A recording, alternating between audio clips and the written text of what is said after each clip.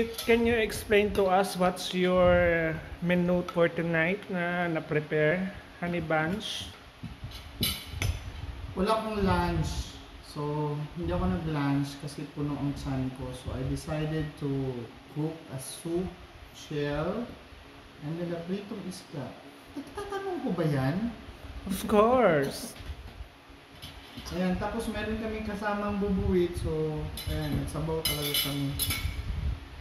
Na ano ko kahapon sa ano sa lechon. Na-shock ang tiyan ko sa lechon.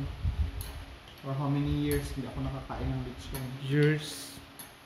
Pag sure. Try lang, good. Wow, somehow. Ano ako? Ah, Subo. Ay, dali lang subo. Hmm, kain ka nito. Am-am.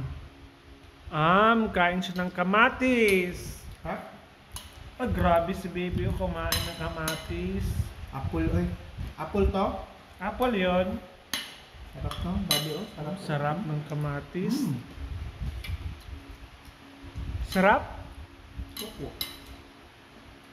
Ganyan si baby tifetic. Ang kamatis is apple. Hmm, gutom na siya. So, ganyan magpakain ng bata ha. Yan. Yung pagpapakain ng bata, guys, nasa magulang lang yan. Kung ang bata hindi kakain ng gulay paglaki, kasi ang magulang hindi nagkakain ng gulay. Sige nga, try na subuan ng kamatis ulit. Saglit lang. Kaya ka pa nito na? Ay, tama na. Hindi Tama na daw. Tama na. Ay, daddy mo na. Um, Isang kamatis papete.